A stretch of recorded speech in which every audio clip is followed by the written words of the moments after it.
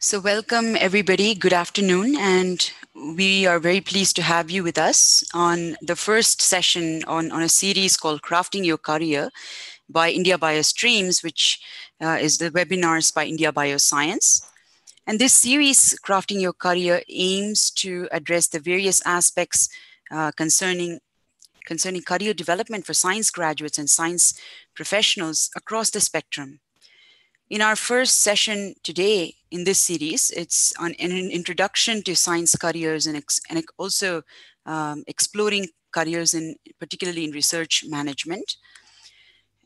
So today um, I'm Lakshmi. I'll be your host this afternoon. Uh, also joining me are Shreya and Smita, my colleagues at India Bioscience. Um, you, you'll be hearing from them shortly on, on uh, science science careers, an introduction to science careers. We also are very honored to have uh, very uh, eminent guest speakers today join us. Uh, we all we have with us Ponnari Gottipati.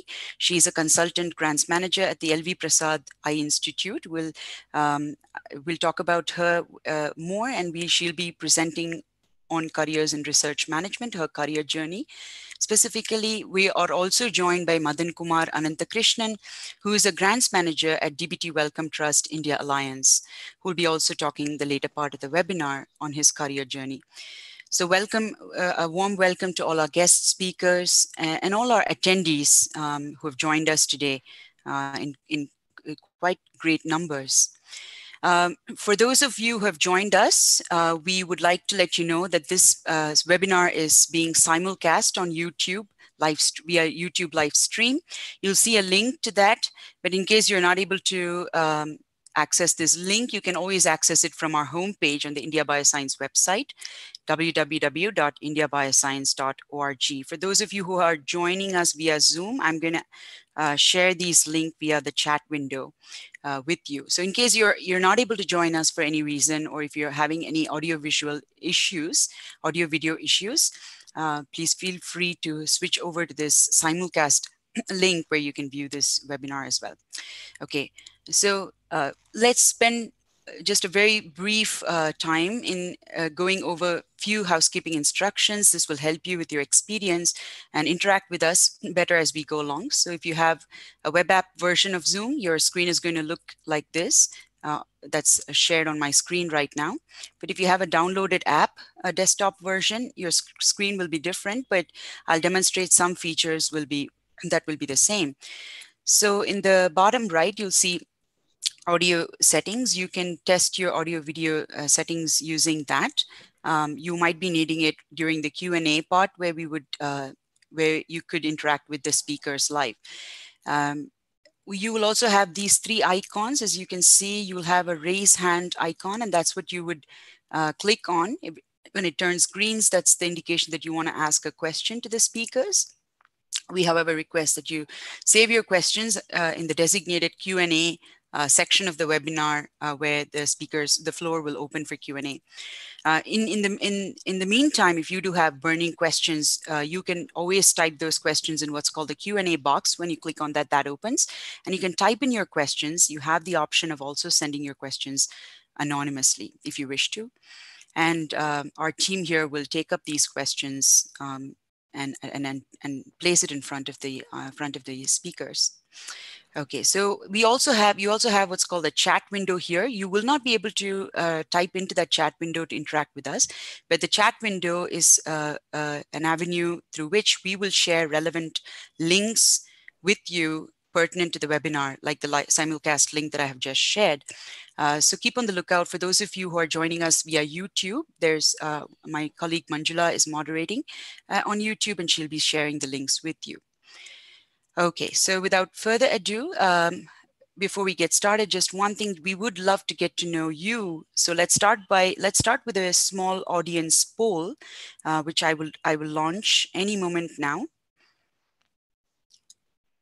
So if you do see a, an audience poll launched on your screen, please take a moment to let us know a little bit about yourself so we know who is joining us and a little bit about what, what your thoughts are on the next steps in your career ahead.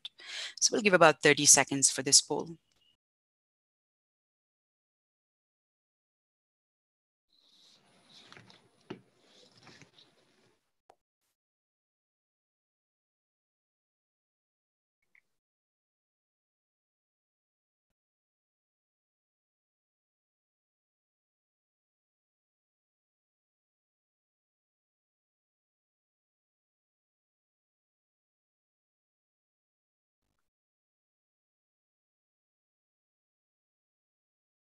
So we'll end this poll in about five seconds.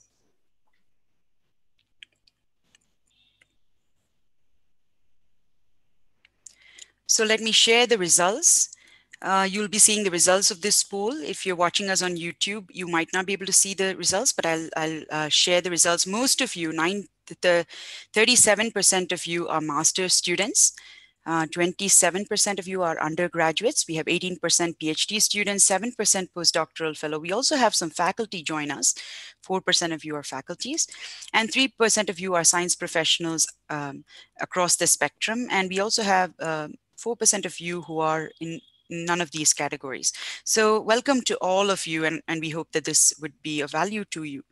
Okay, so what are your responses on the next step and top career choices? And uh, uh, we see 82% of you would like to be researchers, 43% of you would like to be educators, and 11% of you do want to be grants managers. Uh, you have some good uh, resource people here today in this webinar for that. And 34% uh, of you are science communicators. 4% uh, of you want to be intellectual property advisors, some core facility managers, science policy advisors, entrepreneurs, business developments. And so uh, we, we are so happy that we have a very broad and an open-minded audience. So without further ado, I would like to pass this forum on to my colleague Smita, who will talk to you a little bit about what is India Bioscience to begin with and, and some of our efforts in the space of careers. Smita? Thank you, Lakshmi. Am I audible and my slide uh, visible? Yes. yes Perfect. Uh, good afternoon, everyone. A warm welcome. Uh, you know, over last one and a half years or so, ever since we started the career workshops, uh, we've been actually going to different locations across the country uh, in person and have been interacting with uh, with uh, you know audience like you all in person.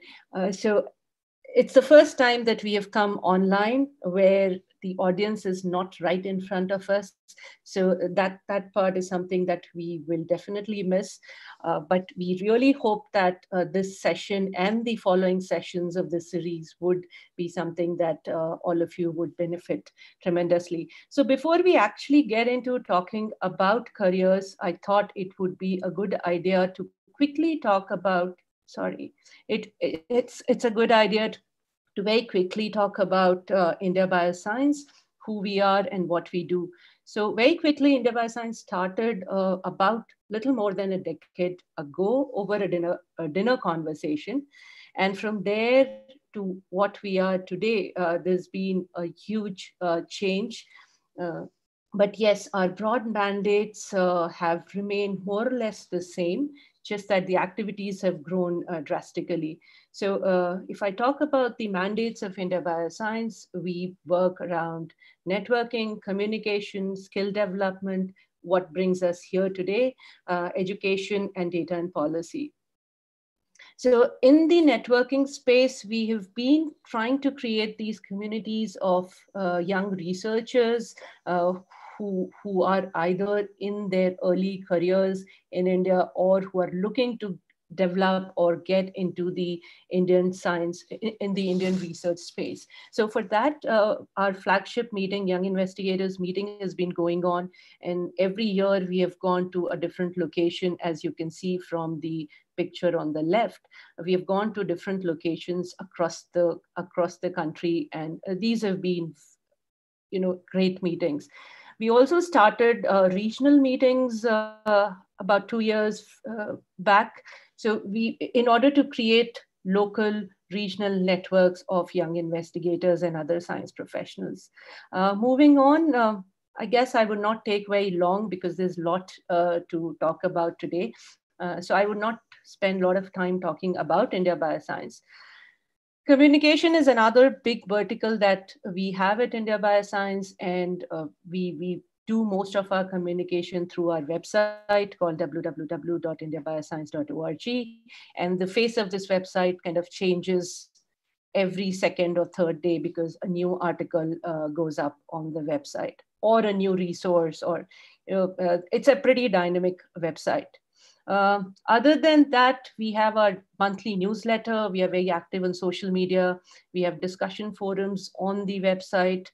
We regularly put out relevant jobs grants, events on the website, uh, through our uh, web, webinar uh, channel, India BioStreams, what brings us here today, uh, we, we have been uh, putting out very interesting webinars. And India BioSpeaks is our podcast channel. And the first series is on careers.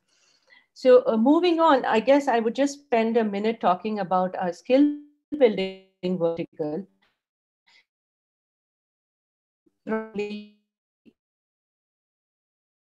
Creating an awareness and popularize different science skills that are available to the young science uh, graduates. Careers in science talk, workshops, we early this year we brought out this book called disha a career resource book for life science students uh, which is again available uh, freely to download from the website. Uh, this book was written by dr somit govil uh, so i would request you all to please uh, go and download this book uh, post this webinar. And and there are lot of career resources all freely available on India Bioscience website. Ple so please, please feel free to download it from the website. There are a large number of talks, podcasts under the India Biospeaks banner and uh, books available. Uh, so moving on, uh, we have been doing a lot of workshops uh, as I said in my, in the very beginning, crafting your career workshop is something that uh, three of us, uh, Shreya, Lakshmi, and myself, developed in-house, which talks use tools one one can use in order to you know craft the career successfully and beautifully. So uh, that's the that's what this is also going to touch upon various modules of uh, CYC workshop that has been developed. We have also been doing grants writing workshops either independently or in association. We just as in addition with other organizations. We very recently finished the uh, uh, the grants writing workshop with EMBO, and the recording of that is available again on the India Bioscience uh, website. So those of you who could not attend can uh, you know benefit from the recording. We have done uh, scientific writing, journalism workshops, science administration and management workshops in association with other organizations uh, in India.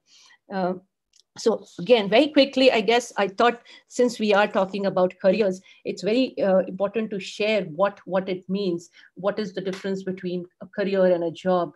And how do we perceive it? Shreya is going to be talking more about it but i just thought i'll share that you know it's not just one single path. Uh, the the degree that we earn any degree that we earn uh, equips us with lots of different skill sets that we must be aware of. And these skill sets can be actually applied in uh, various uh, different paths, not just uh, one path. So that's, that's a message I wanted to give. Uh, and uh, I'm again sure you all would agree that this degree allows us to open multiple, you know, multiple locks that, that are in front of us. It's just that we need to work to figure out which lock to unlock. So uh, there are, you know, during this journey, I guess when the speakers share, start sharing their journeys, they would also share. In fact, even for me, there are there were crossroads in in this journey that which way do you go this way or that way or some other way but but, but if you remain courageous if you remain decisive and you know align yourself really well, I'm sure that at the end of it, unlocking that path that gives you happiness and success is not a difficult task. So uh, with that, very quickly, I'll give you an overview of uh, this particular series that we have planned out. Uh, each of these sessions will be talking about, uh, India Bioscience team will be talking about the various modules of crafting your career. Today's science careers, we'll be then talking of skills, interest, values, you know, how do you research career options, the very importance of networking, building strong networks, uh, presenting your best self, role models, mentors, and much more. Uh, and we, we will be happy to answer uh, questions. And our guest speakers, we, we have tried to bring them from who, who all have been uh, who all have a degree in science, but they all have carved their uh, niche in various different career paths. So they will be sharing their own journeys, their experiences, and uh, more about that particular path. So I'm sure that each one of you would uh, benefit out of this particular uh, series. Please feel free to ask your questions today or even later.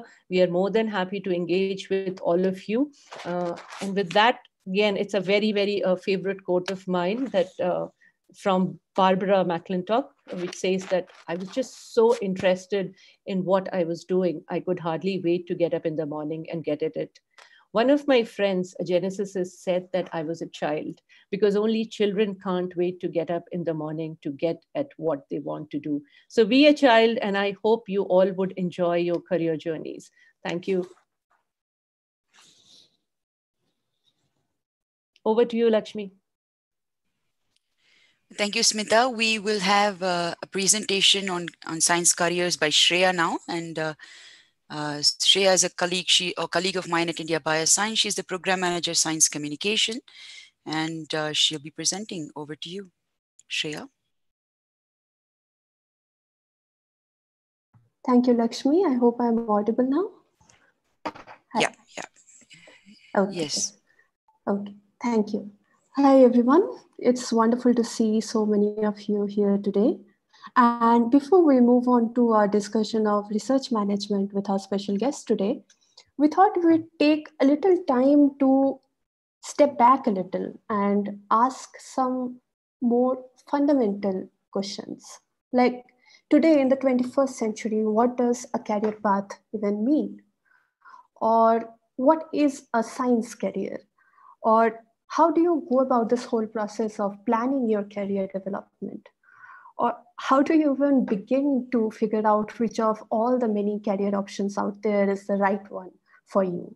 So many of us have a picture of career development that looks something like this that start somewhere uh, step by step, you make progress until you reach the top somewhere, and that's when you're successful. Some of us may have a slightly different picture as well. Like when I was doing my PhD, I thought, this is what career progression looks like. You do your PhD, you do your postdoc, you apply to a bunch of faculty positions until you reach that holy grail of a tenured professorship. Now, unfortunately, or fortunately, in the real world, instead of this neat set of stairs, you are more likely to have something that looks like this. And instead of this simple, straightforward ladder, you are more likely to have something that looks like this. So if you look at this, these pictures, I think what jumps to mind immediately that it's a lot there the picture is not here. There are a lot of options. But that is the good thing about this that there are a lot of options. So returning to that question what are careers in my opinion, the answer is pretty simple. Science careers are careers that involve science. So a scientist or a researcher or an academician is obviously one such career. But so are science administrators, science communicators, science policymakers, intellectual property specialists, educators, not to mention all the industry positions out there, R&D, uh, technical writing, uh, business development all of these are science careers. Why? Because all of these are careers that require a thorough understanding of scientific principles and their application. So they're all science careers. So in today, in the year 2020, what does a career path look like usually? So for one thing, for most of us, uh, instead of joining one organization and working there for the entirety of your career, what most of you are likely to have is a succession of different job roles in different places throughout your career. Secondly, it's no longer possible to separate out the education and the work part of your career. It's that once you get a degree, you stop learning. Instead, what you have to do, what most of us have to do, is to embrace lifelong learning. The workplaces of today are constantly changing. So, what's required of somebody in a job role today is very different from what was required for somebody in that same position 10 years ago. And it's going to be again very different 10 years from now. So flexibility is very very important in a scenario like this.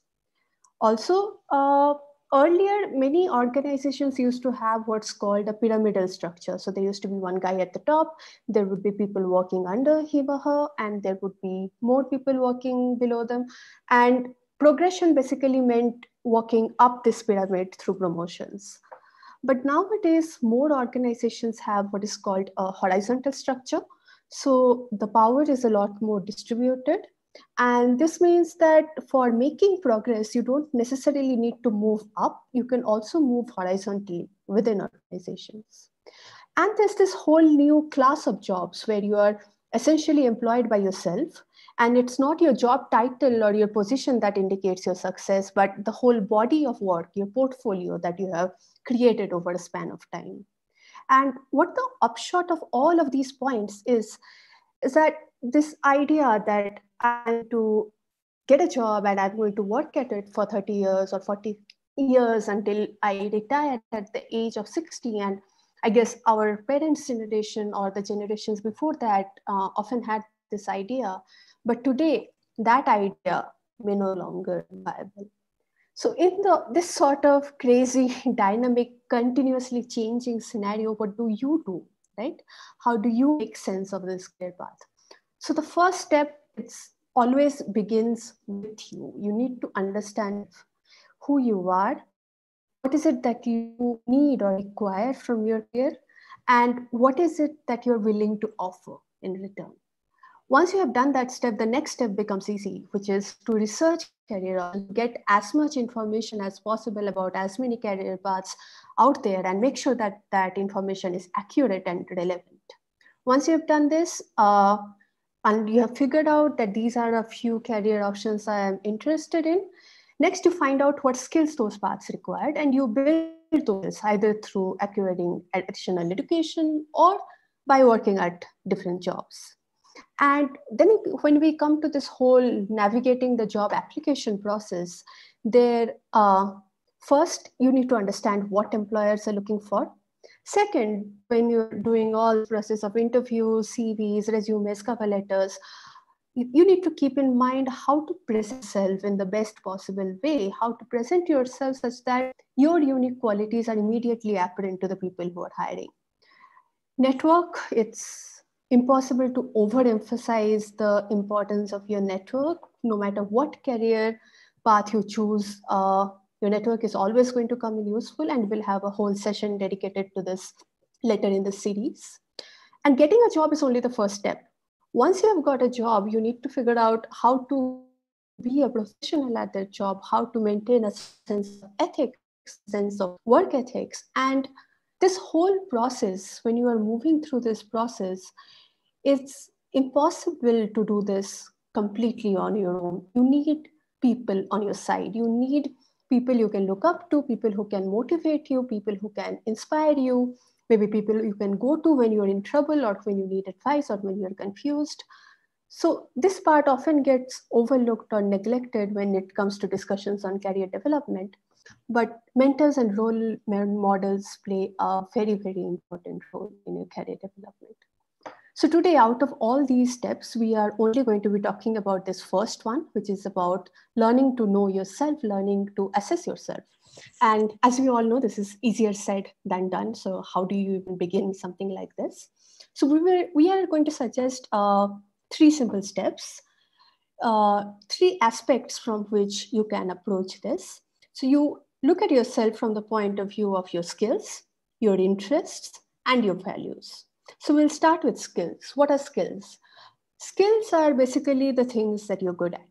So these can be uh, things that you are talents that you are born with, or more often they're usually abilities that you acquire during your education or during while you're doing different jobs and skills are important because skills are your tools when there's a job to be done skills are the tools that are going to allow you to do that job and when you're figuring out what your skill set is you need to keep in mind not only what you're good at but also what you'd like to be good at now, as Smita said, we have been doing this workshop in various parts of the country, and we often go there and we post this question to students like, hey, what are your top skills?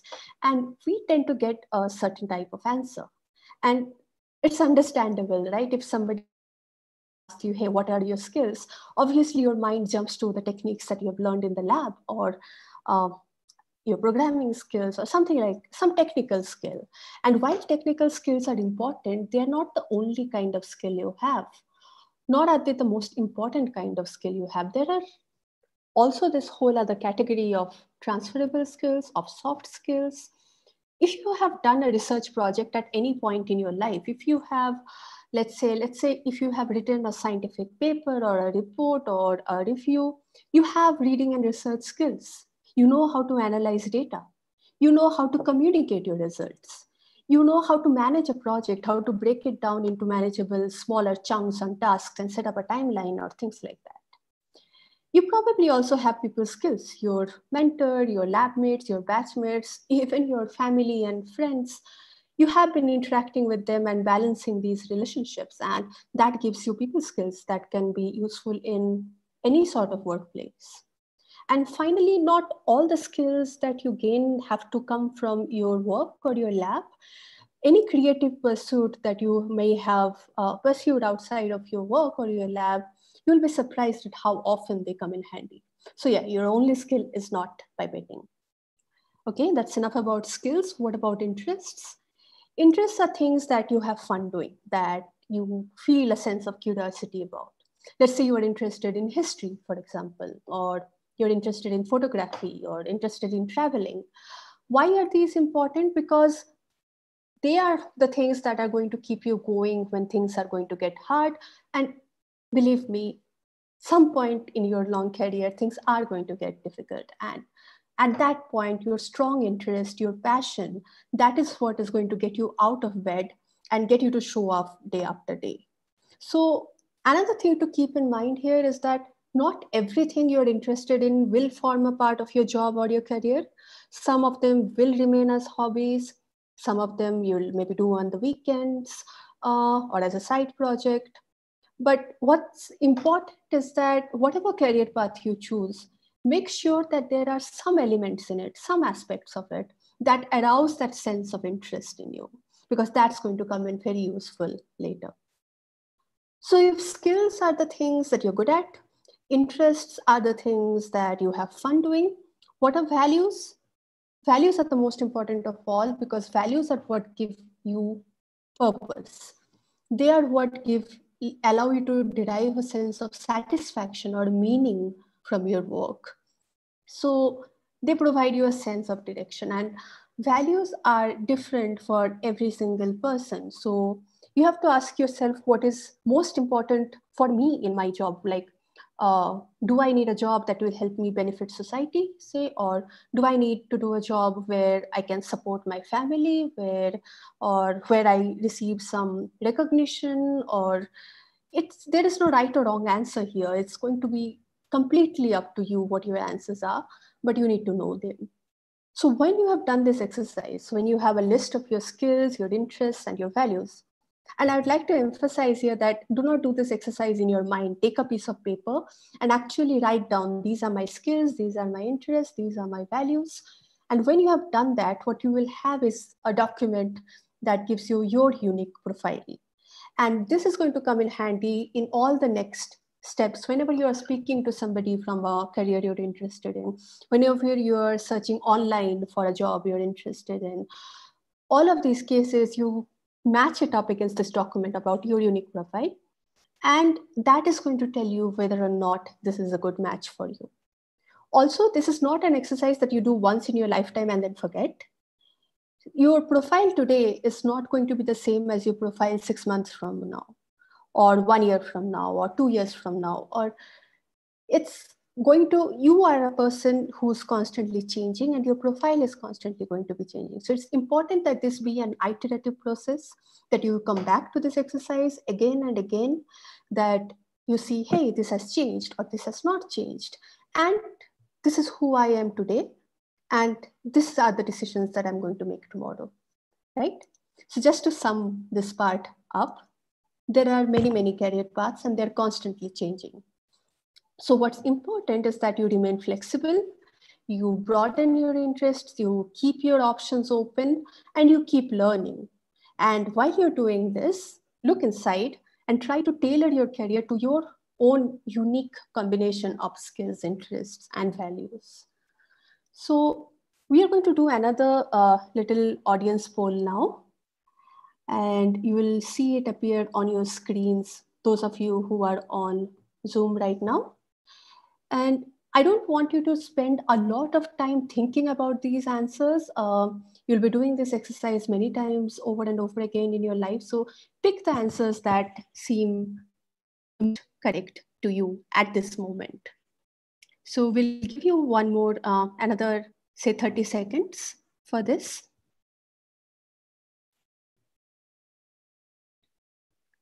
And then I'm going to read out the answers.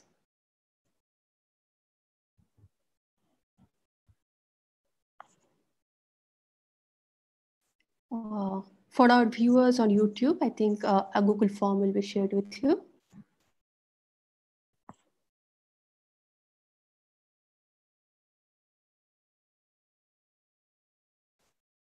Okay. So another five seconds maybe, and then we'll close this poll.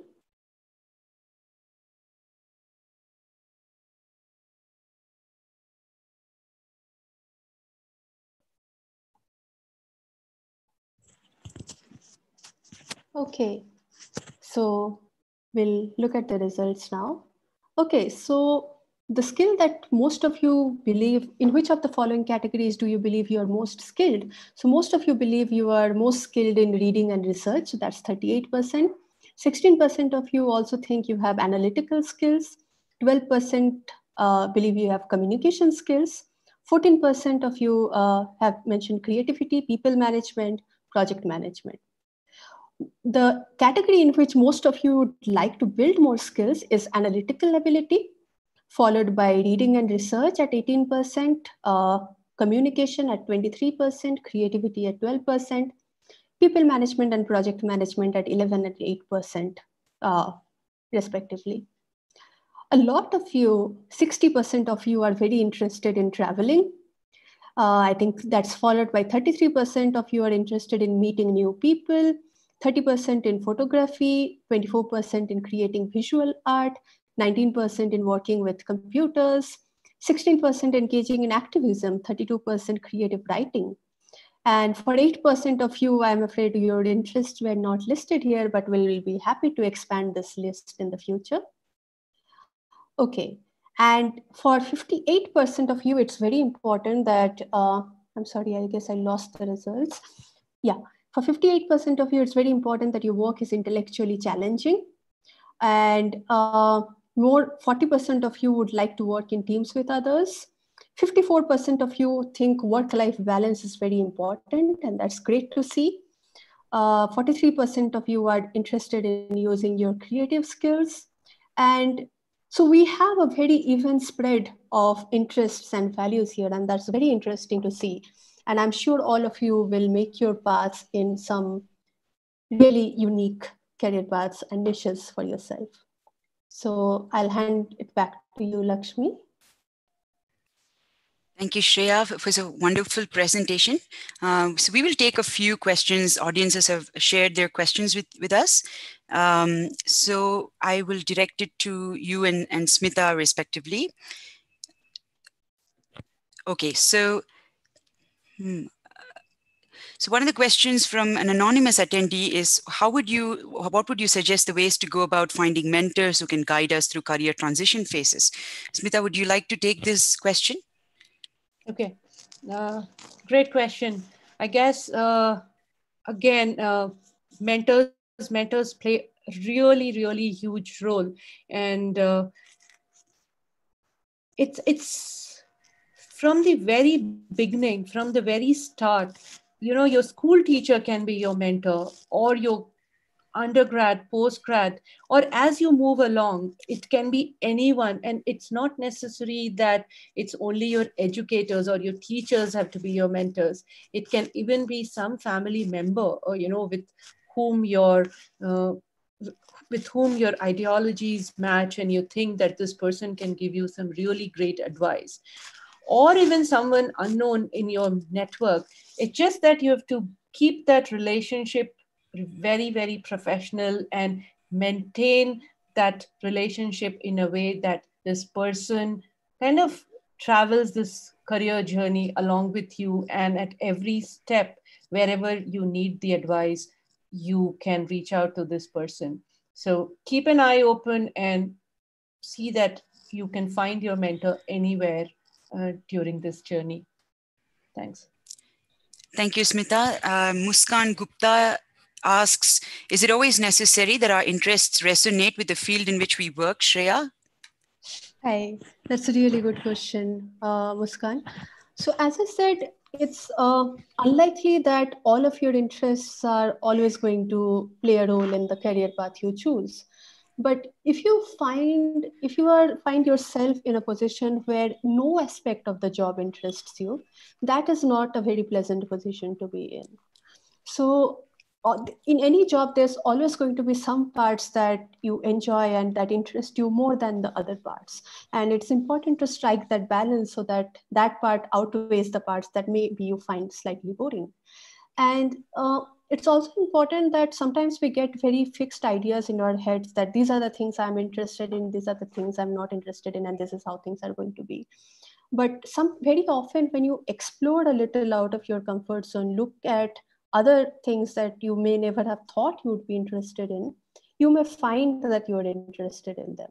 So, two steps. One is make sure that the job you're starting in has some aspects that interest you, and two, try to actively broaden your basically repertoire of interests. Thanks, Shreya. Here's a question for you, Smita. So, an anonymous attendee asks So, in case my career has some gap years, um, how does that affect my career opportunities in academics or industries or, uh, or any other uh, oppor- opportunities? Okay, okay. Uh, another very relevant question. Uh, many of us have had career breaks or gaps or for various, uh, you know, multiple reasons. But as long as during that break period, you are keeping a track of what's happening in the field. Maybe it's not possible to completely keep a track, but as far as possible, keep a track and you are in touch with your mentors and you know you've you've kind of maintained your network active it's much easier to come back. I also agree that for many roles especially in academia where age at times becomes a limiting factor at that point, it can be a uh, little difficult to get back to exactly the role that you are looking for, but that that's also about and people are trying to work that uh, uh, as well. Uh, and as long as your skills and you showcase that you bring in the right skills that's I'm sure, you know, coming back is not going to be that difficult. Thank you, Smita. And here's one more question. We'll take maybe one and one more, one other. Uh, Nidhi Saikedar asks, uh, maybe Smita can answer this. How do I understand the job requirements of a recruiter? Okay, that's a question actually Lakshmi uh, should be answering. Uh, so in in in our next podcast uh, from india bio speaks we are going to be talking about this in much detail so uh, is it okay if i leave that right here just to maintain that curiosity? Lakshmi what do you suggest? Else i'll answer it. Absolutely. I mean uh, you should you should listen to our next podcast nidhi uh, and yes. and we would love you to listen to that. We, will be talking about it at length uh, yes. length. And uh, we'll take one last question uh, which is uh, i'm an undergraduate student Uh, an anonymous attendee says, and I, I, know I want to do a PhD, but I do not know about the career careers outside academia, which provide job security and a good financial backing. How do I go about that? Uh, so maybe uh, Smita can take that up, but I, I also want to add that our speakers are also going to be addressing uh, a good part of this of, of this problem. Smita? Yeah, I guess uh, all I, I would suggest at this point is that go ahead, do your PhD, you know, if that's your dream, uh, fulfill that dream just keep your eyes open. I'm sure you know it's still a long way to go. And by that time uh, what shreya just spoke about keep an eye on your own uh, skills interests and uh, your values and accordingly develop. In terms of knowing the various career paths uh, there's a lot of information out there uh, on the internet. You can also go to our website and just download disha this book uh, called Disha. We have also shared the link. Maybe we can share the link for Dish, uh, Disha again. That talks at length about various career possibilities uh, uh, and, and the kind of skills that's needed for each of these possibilities. So I'm sure a lot of your questions will be answered by going through the book. And if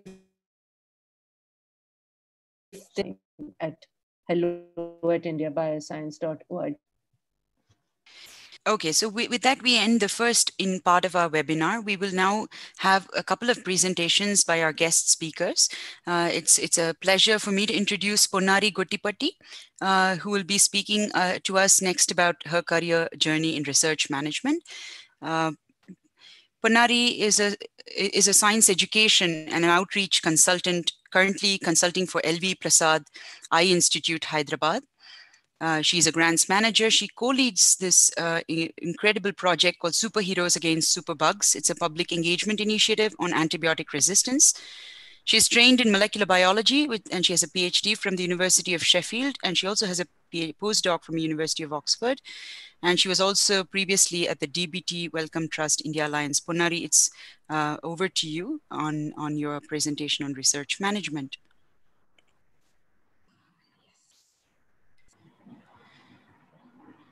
Okay. Hello, everyone, and uh, thank you, India Bioscience, for making me a part of this uh, important initiative. I truly appreciate the work you're doing in uh, uh, popularizing non-academic science careers.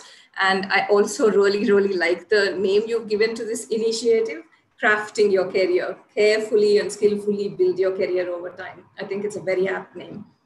So um, I think I'll take on from where uh, Shreya left off in the previous uh, uh, session. So I think it is very important for each of us to actually introspect on what career means to us and what is important to us in our careers. And uh, personally, for me, I think what motivates me is a sense of accomplishment, knowing that what I do uh, makes a difference, even to a small extent. And what gives me job satisfaction is knowing that the organization values my contributions. So, um, personally, I'm at a very uh, uh, happy space in my career right now uh, because of these two factors.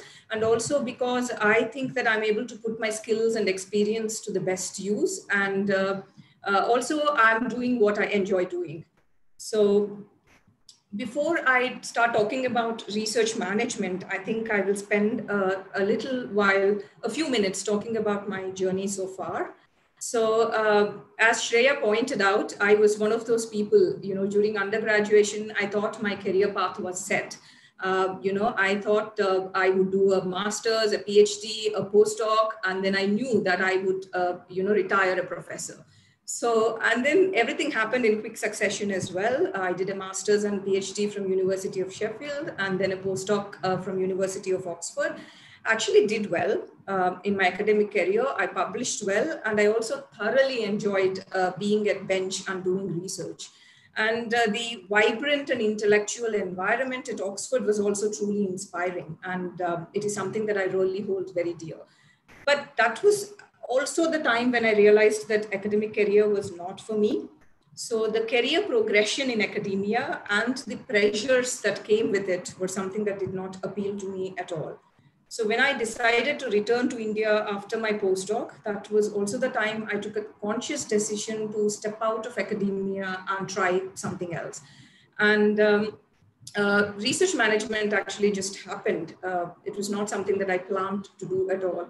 There was a job opportunity available at India Alliance, and uh, you know the thing that interested me most about that uh, job opportunity was that it was based in Hyderabad, where my family was.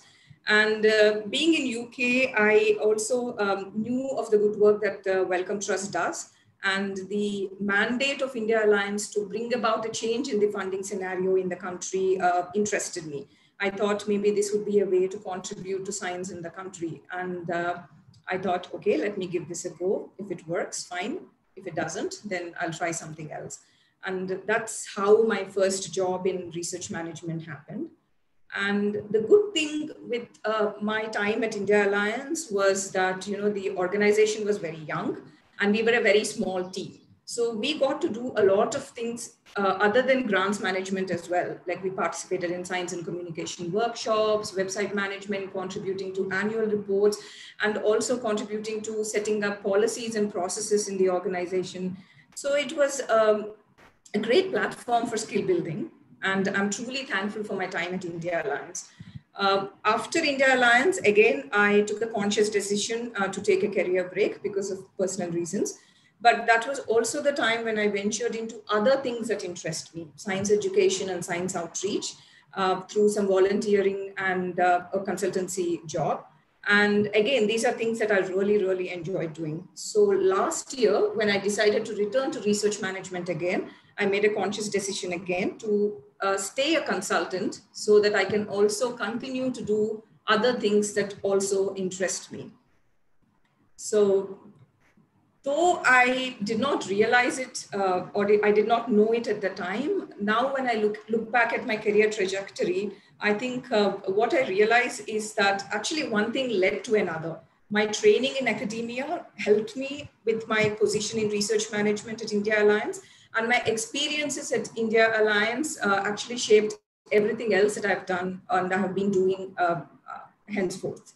Um, so this was something that uh, uh, I did not realize at the time, but this is what has happened. And so I think if I have to sum up my career trajectory in one statement, I think it would be this, that I am not a product of my circumstances, but I am actually a product of my decisions. Um, even at times when I did not know what to do, and when it felt like I was actually uh, uh, uh, uh, just following my heart, I think I did it the smart way. So I think it's important to carefully weigh your options and align it with your interests, as Shreya so nicely put, and also what matters to you at that point in your life, and then take a call based on that. And once you've made that choice, uh, give in your best, and I'm sure uh, whatever you decide to do, you will do well. And another thing that I want to say here is not to be afraid to experiment and to try something new. Because even if you realize that that is not what you would like to continue doing, uh, those experiences will never be wasted. Uh, those experiences will definitely help you no matter what else you decide to do in life later on.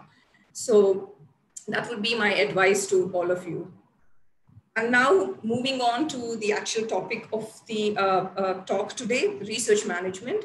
So simply put, research management is all administrative and operational functions dealing with management of research.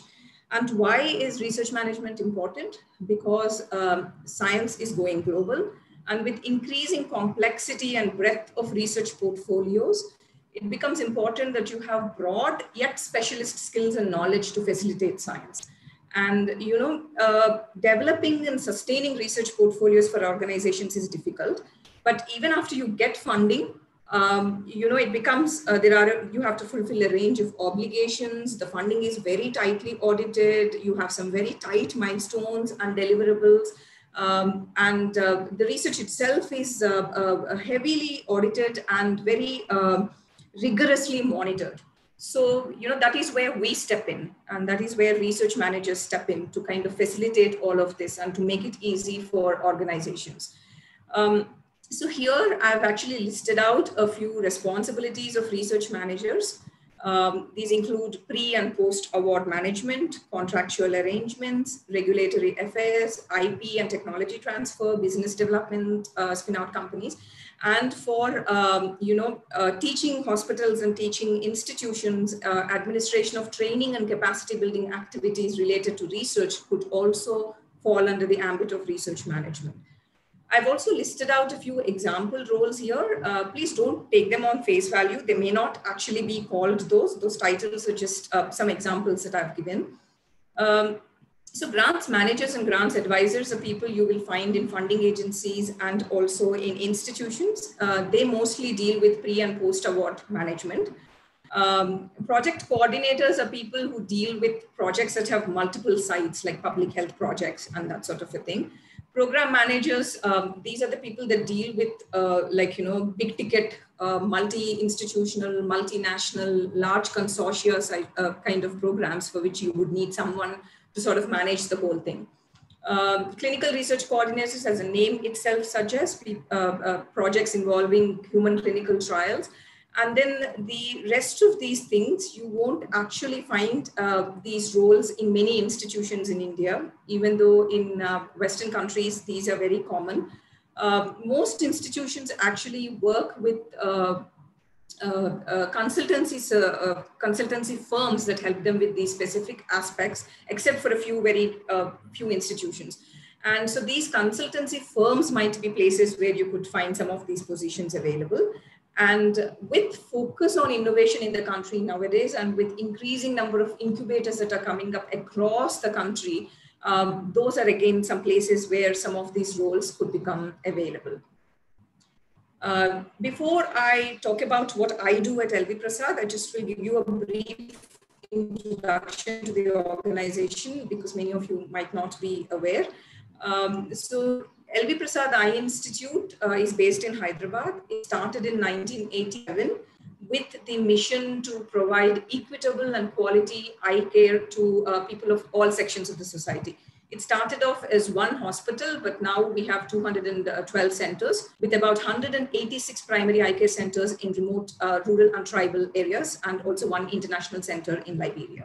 As you can see, research forms an integral part of operations at LV Prasad, and the research portfolio uh, includes clinical research, basic research, that is immunology, microbiology, genetics and genomics, stem cell biology, um, biophysics, biooptics, um, public health. They've done some pioneering work uh, in the public health sphere uh, for eye health in the country. Uh, we also have a bioengineering department, an innovation center, and a small incubator. So it's a very interesting research portfolio and most of our funding comes from national and international grants, fellowships, as well as donations.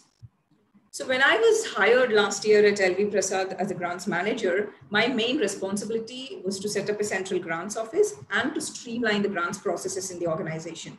And as part of this, I have actually proposed to set up an online grant management portal uh, and the institution uh, welcomed this idea with open arms. And I now have a IRMI grant, which is a research management grant to carry forward this.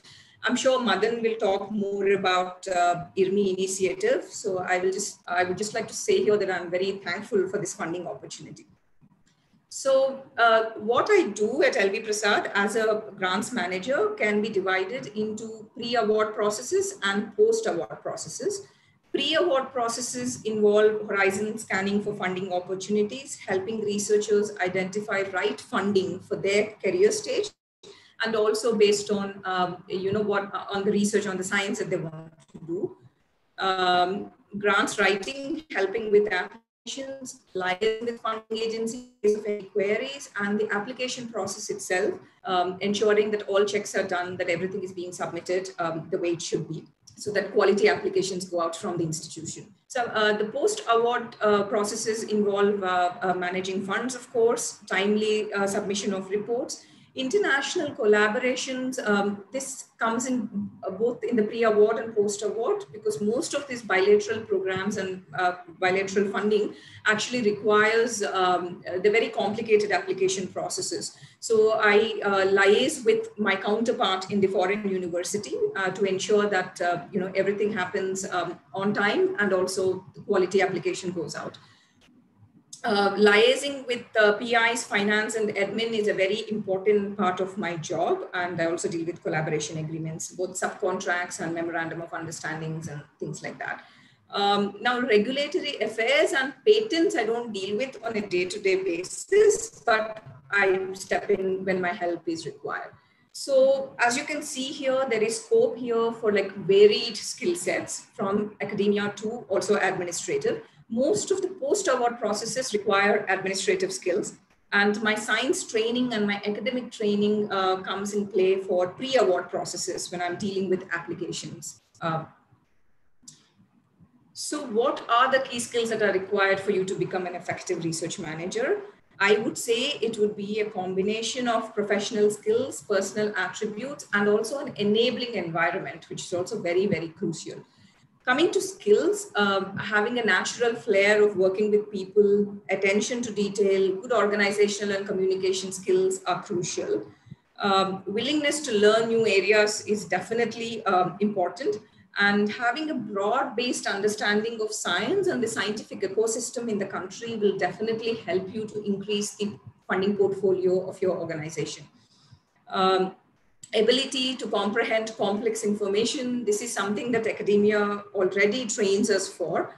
And because ours is a facilitatory role and we are liaising with varied kinds of people, negotiation skills also become important and numeracy skills when we are dealing with um, you know, funding and uh, money. So um, as with any job, there are things that I like about my job and there are things that I don't like as much. What I like the most about my current position is uh, the organization that I'm actually working for. Um, LV Prasad Eye Institute, actually 50% of the patients that come to this institution get free treatment, irrespective of how complex the procedure is.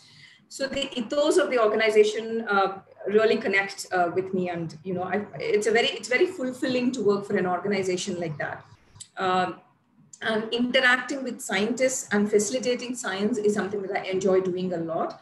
Being a part of academia while not having to face the rigors and the uh, pressures of a career in academia, I think is what uh, uh, what I like most about this position. And uh, I've already talked about uh, best use of my skills and uh, accomplishment in the previous section. So what I don't like as much is definitely financial reports because I'm not good with numbers at all. So that is why I take my time with these reports and it also helps that I have a good eye for detail. So, and the administrative uh, side of research management could definitely uh, get mundane and repetitive.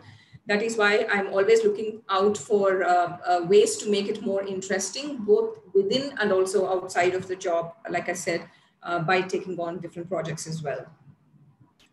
Um, so what are the main challenges of a career in research management? At institute level, I would say uh, the most, uh, uh one of the challenges is uh, bringing about change is hard, you know, especially the older the institution, uh, you know, the harder it becomes to change anything there. And you are there to streamline the processes, which means that you have to bring in some sort of change. So, uh, so the key to that is winning the trust, uh, trust of people, and then uh, eventually they will realize that you are there to make their life easy, and they will come along. But it is important that you win their trust and you take them along in this journey. Uh, the second challenge is that most government funding agencies actually do not recognize this role. So when you want to talk to them about something, they're very reluctant and they always say, no, I'll only talk to the PI. Um, but actually building that personal rapport with them definitely helps over time and that uh, helps you in uh, overcoming that challenge.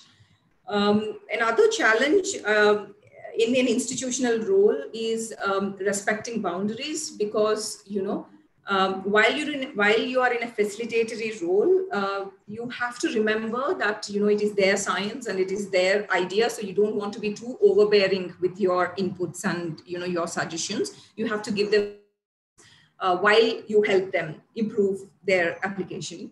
And secondly, also, um, it could be the other way around also that when you're trying to help them and when you're trying to make their life easy, you should also ensure that due protocols are followed. So sometimes it could be a tight walk. Um, and then complexity of ethical issues and legal issues when you're dealing with regulatory affairs and contracts uh, could also be uh, daunting. um, that just, uh, you know, this is just something that you, that just gets better with time. With respect to the field itself, I would say the main challenge is lack of professional training. And uh, one of the other challenges is not having a clear career progression because this is a relatively new field in the country. These roles are just cropping up now, and therefore there is no, you know, there is no clear career progression set for a role like this. But I think that could also be exciting for some people because then, you know, uh, you get the chance to shape the career the way you want it to. And um, uh, the main lessons learned for me, uh, this is something that I tell everybody that, you know, uh, managing processes are easy, but managing people is hard, especially when you're in a facilitatory role, when you have to liaise with people, it becomes very important that the focus stays on people and the processes will take care of themselves. And uh, Shreya already pointed this out, but it is very, very important to remain open to learning every day you will learn something new in this role and every person that you meet also has something to teach you. So it's very very important that you remain open and uh, you take it all in good spirits.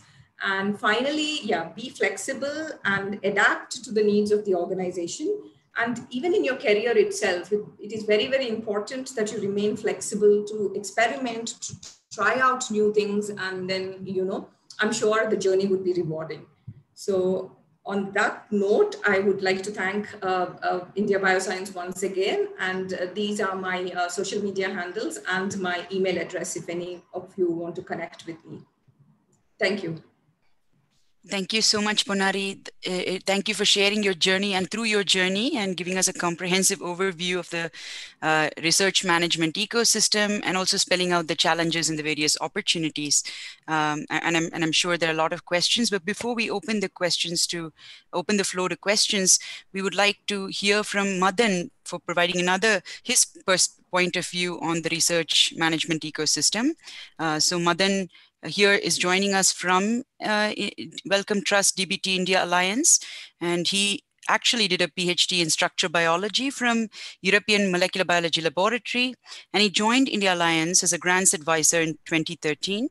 But he not only does uh, grants advising um, with India Alliance, but also is involved in science communication training activities and also in the pilot phase of IRMI, which uh, Ponnari just mentioned, which is the India Research Management Initiative. Uh, uh, which is aiming to strengthen research ecosystem in India. and he also, as a grants advisor, he served as a secretary to India's uh, India Alliance's Fellowship Selection Committee. Uh, he assumed the role of a grants manager in mid 2019 and oversees pre award and post award management for early career fellowships in clinical and public health fellowships. So, uh, over to you, Madan, to, to, uh, to, to tell us about your career journey. Uh, thank you very much, Lakshmi, for that very kind introduction.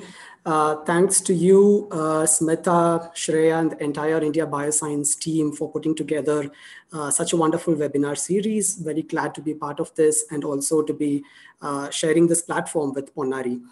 Uh, I hope our audience are all taking good care of themselves during these challenging times and hope webinar fatigue or Zoom fatigue has not set in.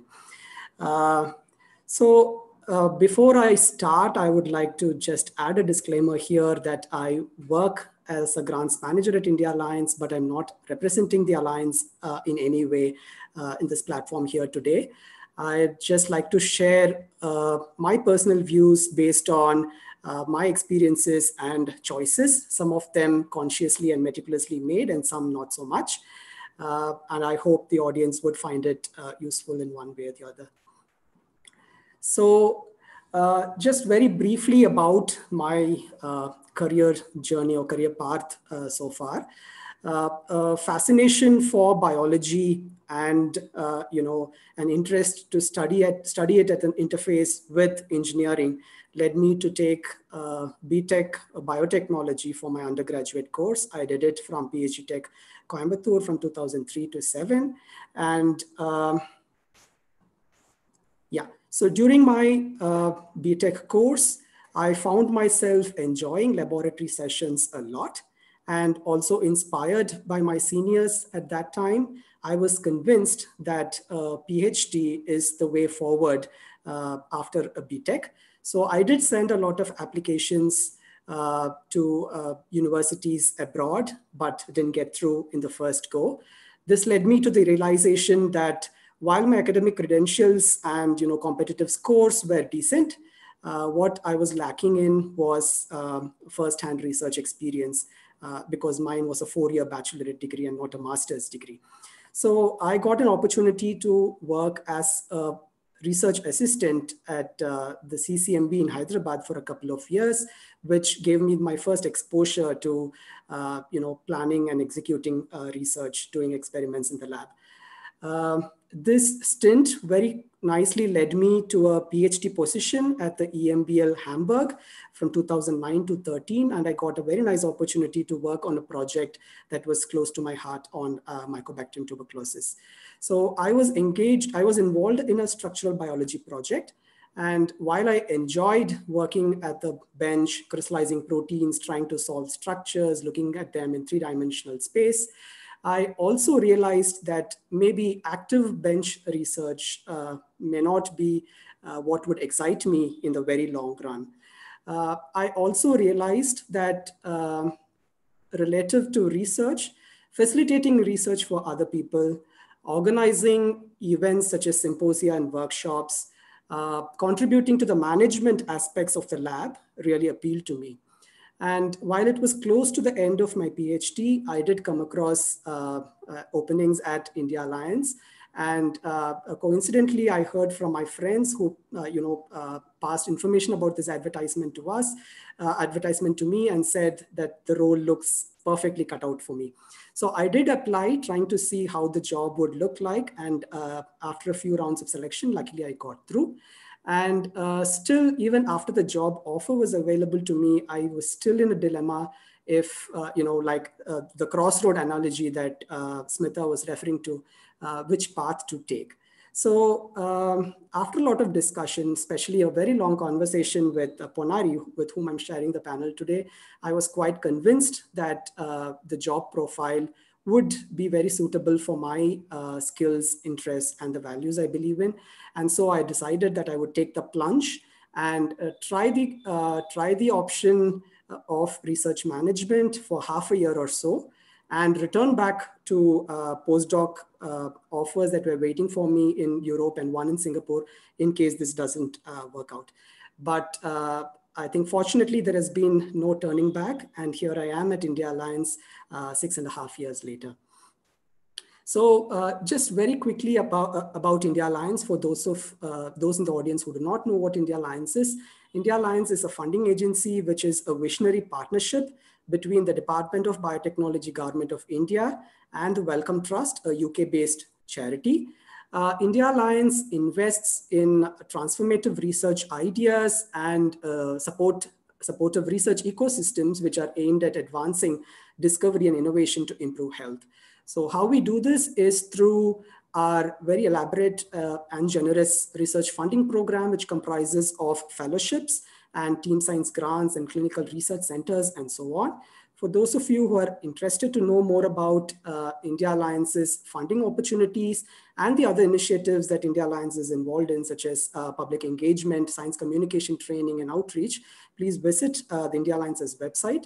There's also a mini site, uh, 10years.indiaalliance.org, which uh, was uh, uh, created specifically to commem commemorate 10 years of India Alliance since its inception in 2008.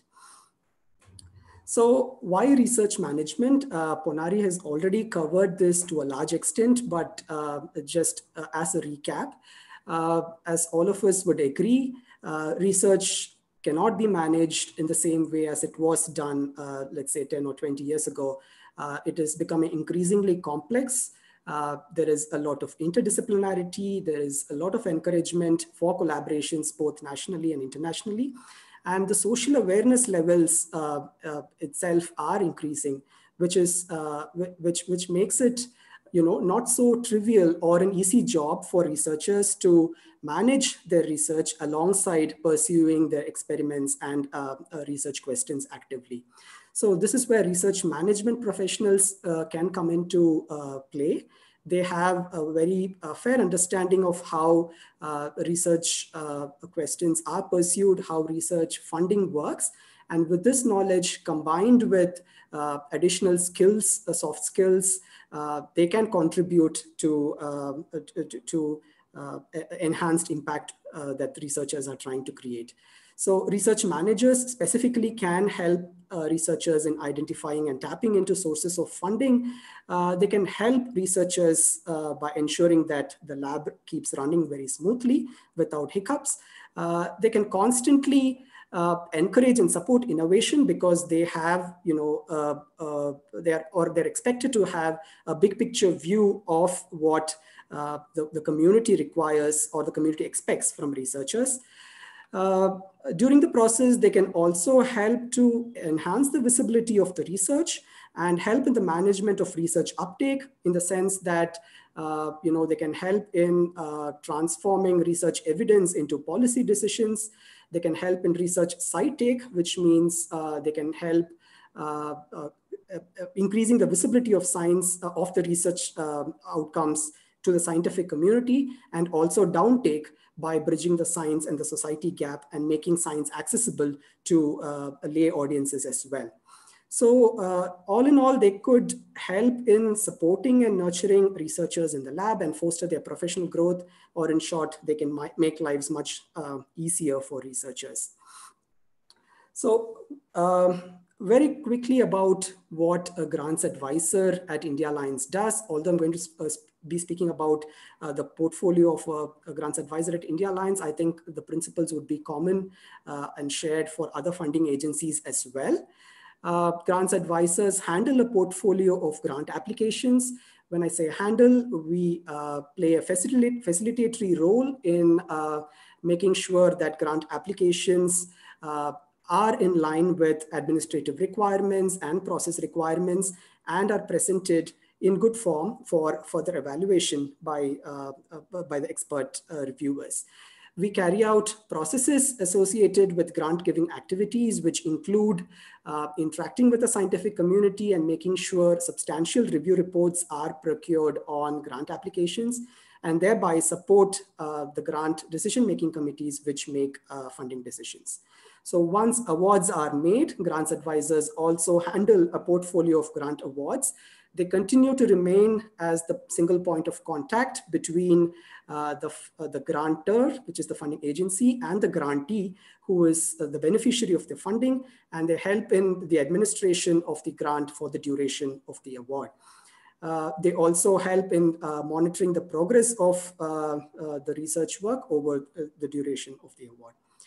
Uh, at the India Alliance, grants advisors also have the opportunity to contribute to other initiatives of the organization, such as the outreach efforts, science communication training, public engagement activities, and so on, uh, because uh, the scope for you know these uh, uh, additional activities is also quite wide. So uh, I was working as a grants advisor for five and uh, for a good five and a half years before I was uh, given the responsibility of uh, the grants manager. So as grants manager, uh, together with uh, two of my other colleagues, I manage a team of about 15 or 16 grants advisors who carry out pre-award and post-award management of research funding applications and grants. so managing the team um, is quite a challenge because uh, you uh, are also expected to constantly monitor if the capacity of the team is right, if the, if the team is uh, uh sufficiently trained and inducted to uh, carry out and uh, carry out the responsibilities and meet the deliverables. So there's a lot of people management skills that would come into play in this part of the work. As grants manager, I am also accountable for the entire portfolio of grant applications and awards, which means that uh, it is uh, uh, one of my duties uh, with the other managers to make sure that the competition cycle is running as per the timelines and the funding goes out in a timely manner. Uh, for this, there's a lot of liaison with uh, the finance team, the IT team, the operations team, the communications team, and other stakeholders like our funders and the board of trustees. Um, grants manager is also expected to constantly strive to improve processes, policies, and practices. India Alliance is a very uh, fast evolving and response-based organization. So there's a scope, uh, there's a there's a lot of freedom and scope to constantly improve processes and practices to suit uh, the requirements of the research community at large. Uh, grants manager also makes sure that our processes and uh, you know our uh Uh, activities are uh, audit compliant and uh, there is accountability at each step of the entire cycle. Uh, we are also involved in identifying and uh, managing risks associated with the, the funding program and its operations at large. So as you can see from the slide and the variety of the verbs there is uh, uh, manage, oversee, layers, improve, ensure, identify. Um, grants advisors and managers uh, have the privilege of wearing these uh, multiple hats as and when required, and that's quite uh, a nice uh, position to be in.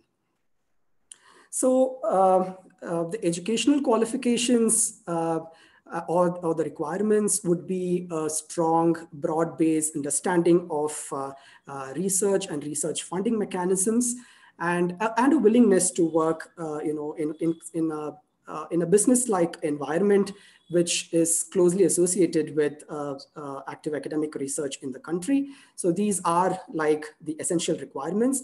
In addition, I would say that uh, a set of soft skills would make the life of a research manager much happier. The first on the list for me would be a flair for facilitation. research managers uh, for, for want of a better analogy, I would say are in the background facilitating research for, uh, for scientists. And uh, it, it really helps if you have it in you to make it work for other people, to solve problems for other people, and uh, to be able to revel in other people's successes. So uh, that, that I think would be one of the major hallmarks of a happy research manager.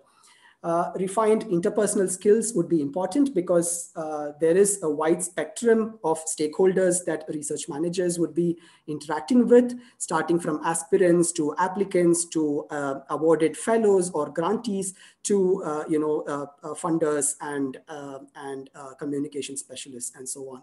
And it really helps to have initiative to and liking for both independent work as well as teamwork. Um, it would really help to be open to learning, uh, to unlearning and relearning as and when uh, the, uh, the situation demands. Because uh, as a profession, this is, is, it's quite new and evolving and uh, there is a scope for a lot of innovation. So an openness to kind of leave your baggage behind, unlearn and relearn would really help. Uh, attention to detail, tremendous attention to detail would also be important because you're dealing with a lot of uh, uh, finances, a lot of uh, uh, research data and, uh, and applications. So tremendous attention to detail while also managing large workloads and working to tight deadlines. So I, one, I once had a colleague who said the, that the most exciting part of the job is to see uh, or to hear the whooshing sound of a deadline pass by. So uh, if you are interested or if you like that kind of uh, uh challenging work environment, I think uh, research management is one of the options. So um, the challenges and perks of uh, being involved in research management, like I said, this is a nascent field and career paths and trajectories are beginning to set, get set uh, only now. And uh, uh, much more than before, there is a strong realization of the importance of a research management uh, profession and a community in India is being very strongly felt now. Uh, but it would take time uh, for the profession to be as evolved as it is, for example, in the West. Uh, because of this, there are associated challenges as well. There is a lot of inertia in the system as such, uh, uh, not in all sections, but in a few sections where uh, people still would require time to get used to new ways of working and, uh, and seeing the, the value and significance that research management as a profession can bring in. And because of this, there's also often weakly demarcated roles and job descriptions, which can sometimes be a little confusing. But uh, again, like Ponnari was hinting, this can be looked as, as a challenge and rather, uh, rather than a demerit. And uh, uh, uh it, it, there's a lot of opportunity for people to tailor make careers depending on their skills and interests. There are, of course, a lot of perks. uh, I would like to classify them or put them under two broad categories. One is uh, there is uh, a lot of intellectual stimulation. Although you're not doing active research yourself, you are in constant touch with uh, cutting edge uh, research and technology in the country and the who's who of uh, research in the country. And based on the variety of interactions you have, the type of problems you can contribute to solving, there's a lot of intellectual stimulation. And for me, specifically more than that, I think the emotional gratification factor is, uh, is quite uh, comforting. Uh, it, it is uh, immensely gratifying to see a research problem uh, take, sh take shape in the form of a research proposal, pass through different stages of uh, scrutiny and then finally emerge into this beautiful research proposal that gets funded and uh, results come out and get published. And there's also a lot of emotional gratification associated with the job when you speak to aspirants or young uh, colleagues who, who would like to know more about the profession, uh, who would like to get more training uh, in science communication uh, and other aspects. So uh, a little bit about the opportunities that are available. I would say that opportunities available with funding agencies are uh, are fewer than it than would be available at uh, research institutions and universities at this uh, point in time. Uh, but but trends are changing, and we don't know what a post-COVID world would present. Uh, so uh, increased research funding would only mean that there would there would be an increased requirement of research pro professionals to handle funding. So, so uh, the hope is that uh, much more opportunities would open up.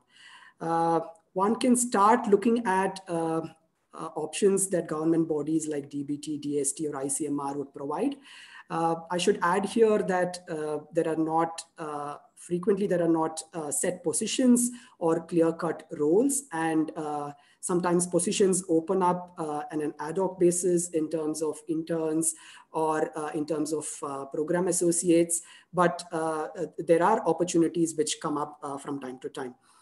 Uh, one might also want to look at philanthropic organizations such as the Tata Trust and the Bill and Melinda Gates Foundation to see if uh, the ethos and the values of such organizations resonate with their uh, organization, with, with, their own values, and see if there are opportunities for uh, for contributing in, in places like this.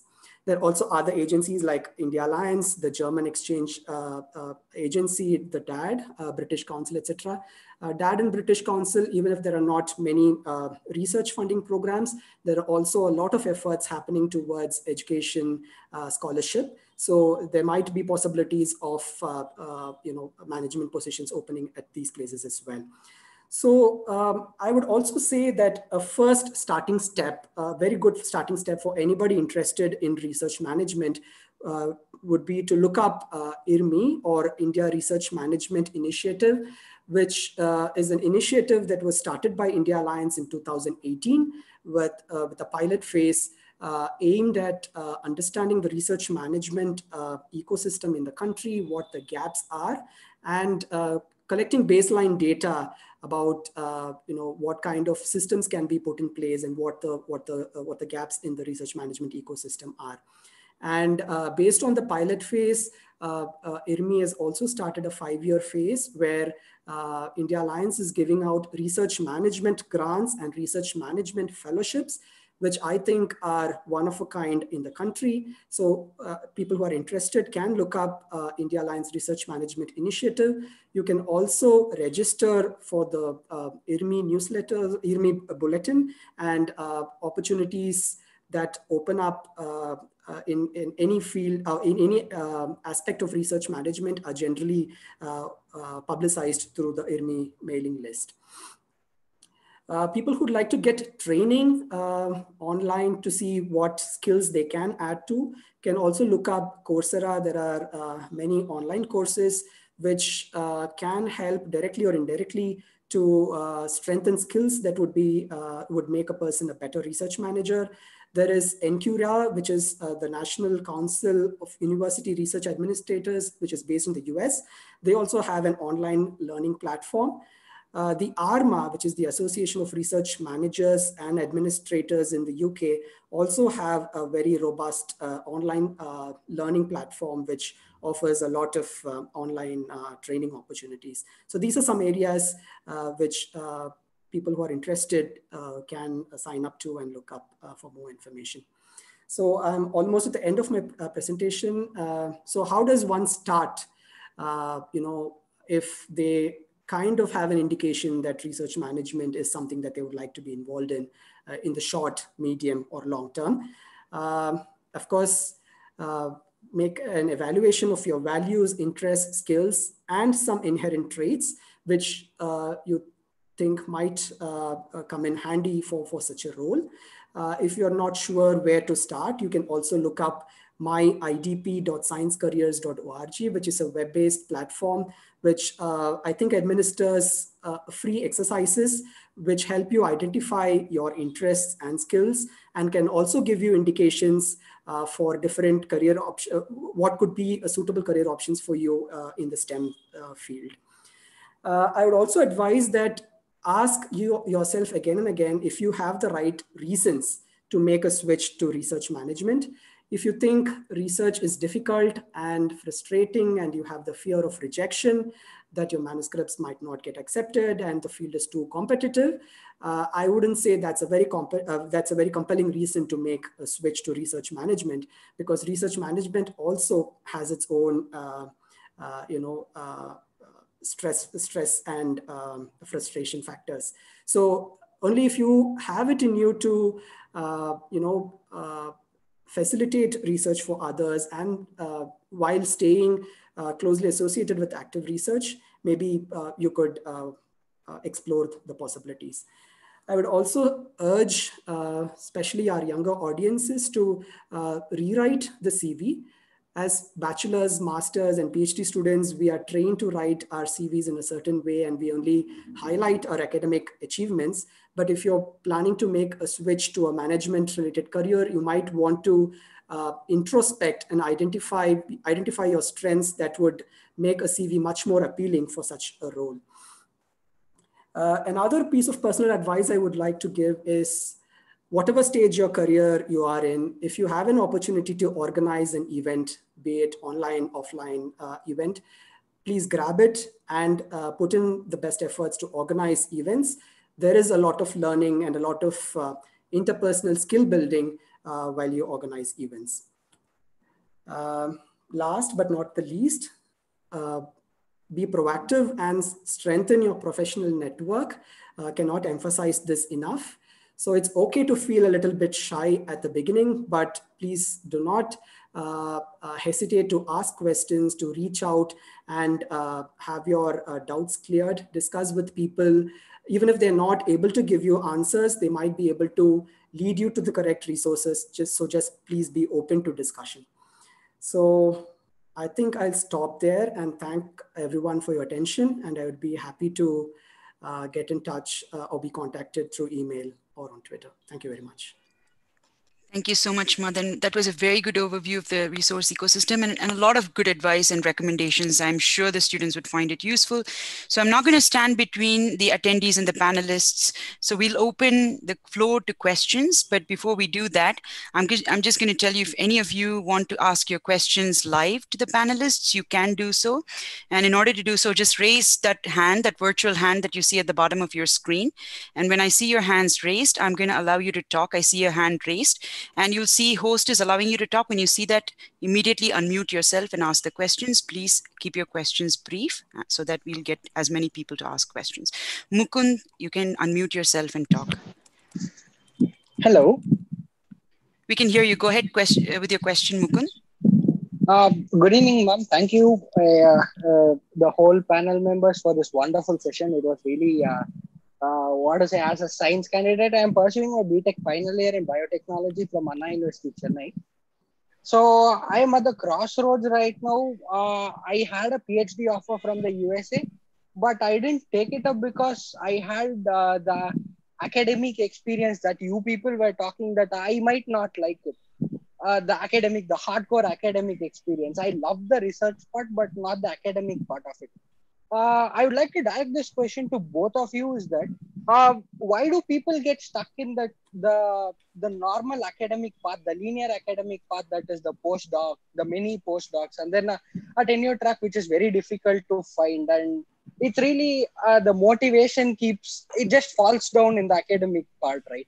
So, but the job part, as you said, it is not it's not very like uh, what to say like in IT field you don't have many jobs for PhD candidates. Like uh, you can't get it transition into an industry. It is very difficult for a PhD candidate to transition into an industry be it an uh, a managing a managing part like yours.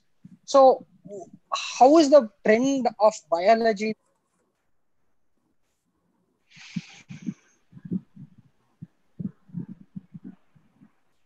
So, Smita, yeah.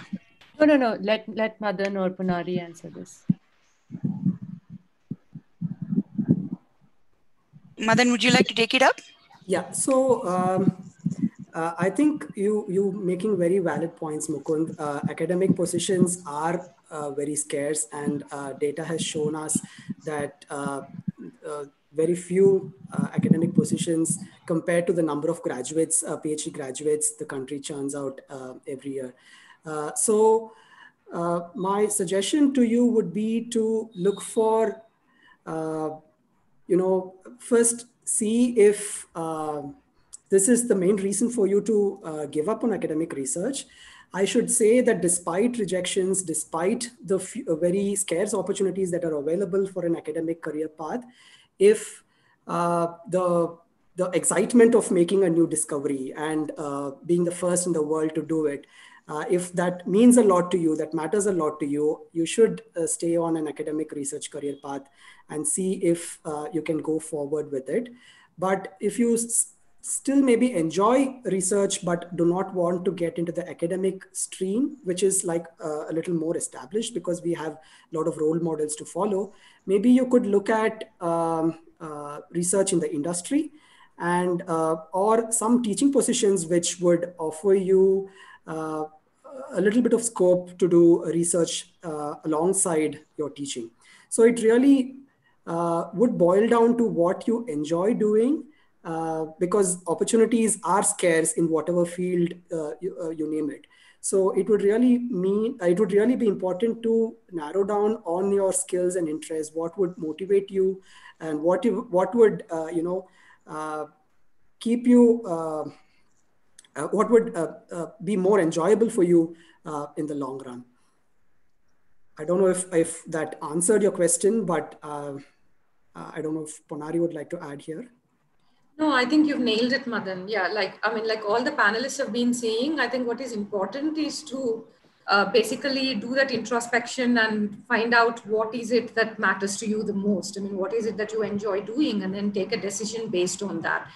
Um, and uh, just one point that I would like to mention that um, you can make these career transitions at any stage. You can do it before PhD, you can do it after PhD also. So, you know, uh, it's uh, entirely up to you when you want to do that career transition based on a number of factors, uh, you know, and uh, like Shreya so nicely pointed out, do the exercise and, you know, see what, uh, try to see where you fit in and, you know, what interests you and take a decision based on that.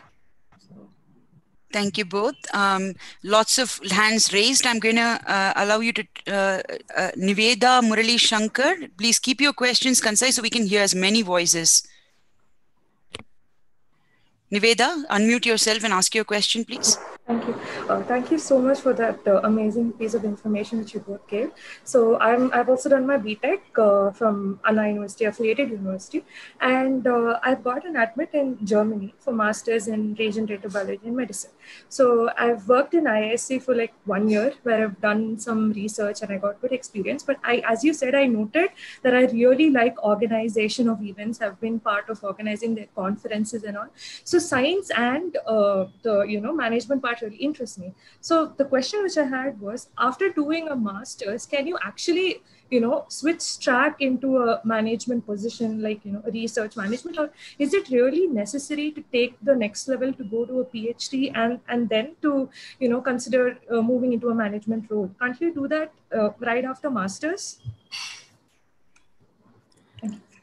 Yeah, so I think this this question uh, is has uh, led to a lot of debate in the community whether a PhD is important for a research management position, and there are very differing views from uh, different people about whether or not a PhD is important.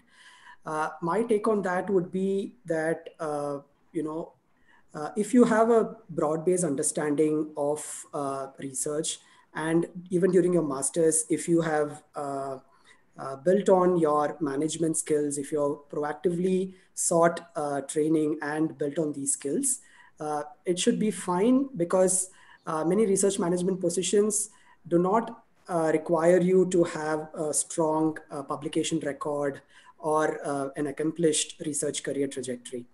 Having said that, it would also depend on the position you're seeking to apply. For example, a grants advisor position at India Alliance it is a prerequisite that a PhD, uh, the candidate has a PhD. So it would really depend on the level of the position that you're applying to and the requirements of the position. Uh, I would also like to add that uh, the PhD, in addition to uh, scientific and technical training, it uh, brings in a lot of other aspects for an all-round development of an individual uh, as, as, somebody who can appreciate science and facilitate science. Uh, for example, project management skills, uh, efficient documentation skills, time management skills, uh, uh people management skills. Uh, these are some things that uh, PhD students unconsciously or subconsciously pick up during the PhD tenure. So it, it really depends on the kind of position you're looking for and what you aim to get out of your PhD or your master's. Thank you, Madan. Perhaps Shreya, can we take a question from the Q&A box? Sure, uh, Lakshmi. So something that uh, many of our attendees uh, seem to be interested in is that given the current situation with COVID and pandemic and the break that that has ensured, how do you think that will affect the career progression of somebody, let's say, who's interested in grants management right now? So either of you, I know it's a difficult question, so either of you can take this. Um, I, I, can, I, I, let me attempt. Uh, if I've understood the question correctly, so I'm talking from my uh, perspective as, as, as, a research, as a grants manager at an institution. Uh, see, most of the work that you do as a grants manager, uh, you can very well accomplish it sitting at home, you know, working on your computer, um, you know, talking over telephone. Um, so if you've already taken up that position, then I would say that it is not going to matter much. You would be able to uh, continue to do uh, accomplish all your uh, responsibilities quite efficiently. If you're asking whether uh, finding a job like this during this COVID situation uh, is going to be dif- difficult, then again, I would say that uh, I don't think so. I think actually more and more people are now realizing the importance of science and research um, and therefore, uh, hopefully, there is going to be more funding for science and more such positions will open up. Uh, after the COVID situation started, I have seen at least um, you know, two, three positions advertised for uh, research managers at institutions. And, uh, you know, there are multiple positions being advertised uh, in incubation centers and, you know, technology transfer offices and places like that. So I uh, actually think we'll be okay. Great. Uh, thank you, Ponnari. Uh, one more question. This has been asked specifically to Madan uh, from the Q&A box. And that is, did you face a reverse culture shock when you moved away from academia or when you moved back from the US? And how has that affected your career trajectory? Uh, I did face, uh, I moved back from uh, Germany and not the US. I did face a reverse cultural shock outside uh, work environment, but I at the work environment, I didn't face it that much because uh, at the India Alliance, uh, all processes are uh, done are carried out with a great deal of transparency and uh, at par with uh, international standards as far as research funding and management goes. So there was not that much of a reverse cultural shock at the workplace. So I think I was in a lucky position to be associated with India Alliance right after my PhD. Thanks. And I think uh, Lakshmi, I think the next question will be taking live. So we'll have uh, we'll take a live question from Satya Prakash Pandey. Please unmute yourself and ask your question. Satya Prakash, yeah. yes, please ask your question. Yeah, first I would like to thank uh, IndiaBioscience for this great panel and all the all the inputs, especially Shreya for that skill, interest, and values part. I think that is very helpful. So my question is that uh, how how should one go about transitioning into this kind of career? Like Madan pointed out that he kept the options open for postdocs and other opportunities before he transitions into it and that's like kind of a fail safe mechanism also that maybe i would like it maybe i would not like it. So even if one has a flair for flair for uh, facilitating research uh, there are a lot of other other things also come into the picture. So how should uh, should one go like a freelancing or like a short stint into this uh, career path and then uh, transition gradually or should one directly take a leap of faith and then get into it So I think uh, both me and Madan have done it very differently. So I think Madan uh, kept his options open maybe because he didn't know whether he was ready to make that transition or not. Uh, whereas in my case, I knew very, uh, I was very sure that I was uh, going to step out of academia and try something else. So again, I think it is more or less, it depends on, you know, on, on your personality and how you would like to look at it. Um, in terms of freelancing opportunities, um, those are not very easy to come by in uh, research management. Uh, so uh, once you have the experience in a research management role, then you could freelance perhaps because you've shown that you know you have the you have what it takes to become a good research manager. But to freelance uh, at the beginning might be a little difficult actually uh, so I would say, you know, like I've been saying in my talk also, don't be afraid to, you know, to experiment, to try it out. And then, you know, if you don't like it, uh, uh, you know, there are other options. So that would be my personal advice, um, unless Madan wants to add anything. Yeah, uh, so thanks, Ponnari. So I would like to say that in some, in many cases, there might not be something very, uh, you know, very suitable waiting for you in the form of an internship or a freelancing opportunity. So by all means, get in touch with the agency or the organization that you think you would like to work for, and try and uh, negotiate with them, pitch in an idea, uh, how your skill set uh, and how your interests might benefit them and see if there is an opportunity uh, that you can pursue uh, for a short to medium term. Uh, if, if there is a match, well, well and good, you can try, try that. But all I'm trying to say is uh, it might not be readily available. There might be a little bit of negotiation, a little bit of uh, conversation, dialogue for you to get involved in, even to identify opportunities and to nurture them and to tailor them to your skill sets and interests. So, so a little bit of proactive effort from your side might help. Great. Uh, thanks. I guess we are running quite over over time, but uh, it's it's a great discussion going on, and that's how uh, we thought let's let's take little more time. So, uh, uh, thanks, Ponnari and Madan, for this amazing overview uh, about your career journeys, and we've been talking about these transitions and you know some set paths and these different career roles so uh, this is another question that i have uh, i guess i have my understanding clear but uh, just for the sake of the audience i would request both of you to talk about uh, this distinction which is out there in the system about mainstream and alternate career paths now that there are so many avenues open up do we really need to tag them uh, like this? Uh, do we do justice by tagging them alt- mainstream and alternate? So uh, over to you, Madan and Ponnari.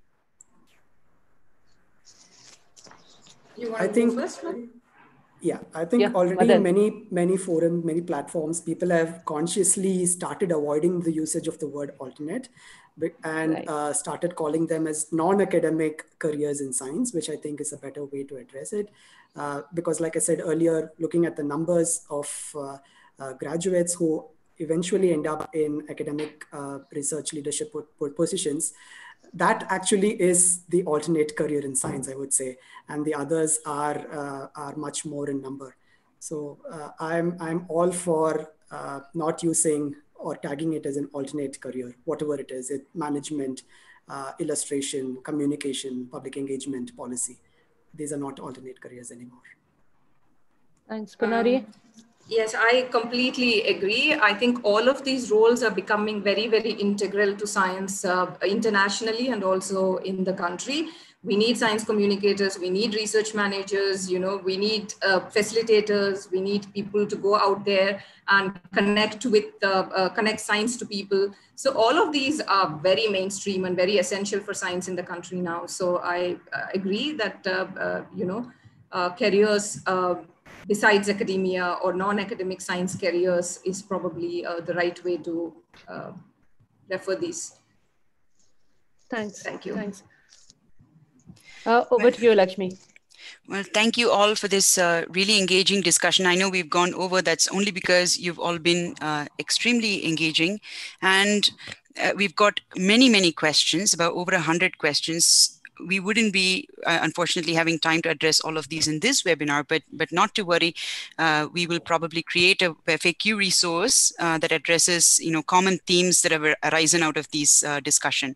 Uh, so so we will come to uh, to a close with this webinar. So i would like to make a few announcements. Um, we would love to, of course, hear from you, uh, you for your feedback. As soon as this webinar gets over, you'll see a feedback form pop up on your screens. Please use that form while you're fresh with experience to let us know about this event. And, you know, uh, if you like this, definitely save your spot for the next uh, Crafting Your Career session, which will be on researching career options. Uh, the link to that also will be shared, shared with you. Uh, so with that, we, we will say goodbye for now, but definitely stay safe during these times and see you soon.